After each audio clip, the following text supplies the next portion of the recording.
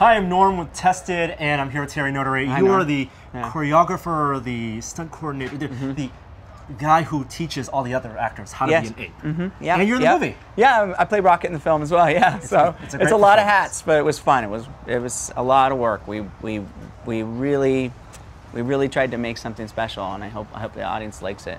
So, what do you tell an actor like Judy Greer, who's in the movie? How Yeah. does she become an ape? What's the training regimen? Yes, yes. Um, well, it's funny because when actors come in, they, they say, "What do I do? How do I do? What do I do to be an ape?" And it's it's not about doing anything. I tell I tell them it's about undoing, and it's about re- figuring out what it is that makes us human, and you peel those layers away, and you what you're left with is is an ape, an animal, and so we're all animals, and we all have this deep rooted connected animal in ourselves and that's what apes have they have a they have a, a calm, a quiet, um, and, a, and, a, and a, a sense of presence that is so deep. It's almost like tapping into a deeper frequency, you know, within you. So all the things I learned through school, good posture and everything. Yeah, yeah, yeah. All the manners, take that all away. take it away. Yeah, exactly. All the social conditioning that you've been subject to, you sort of you realize that it's just a it's just a product of our environment that has made us given us an identity so that we can go out and succeed and be successful and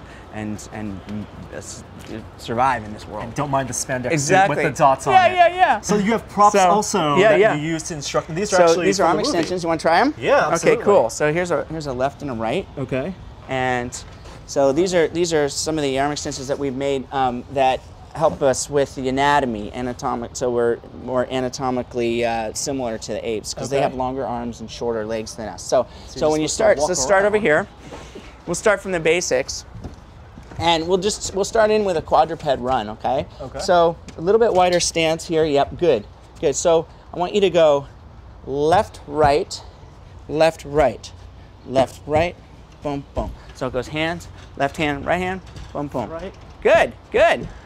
Not Oh. bad, not bad, All not right. bad. That's pretty good. Okay, try it again.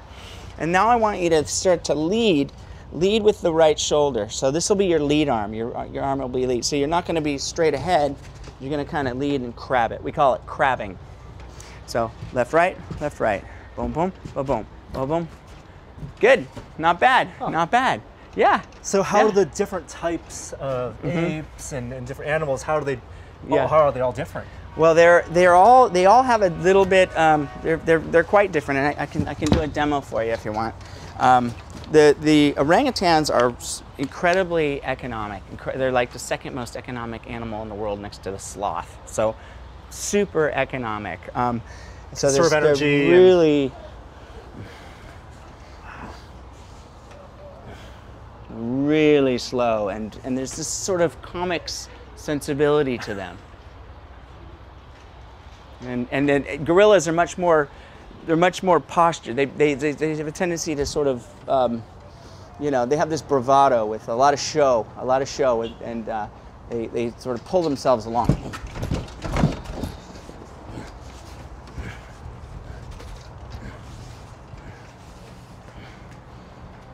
And chimps are much more active, much more wiry. And they're just like,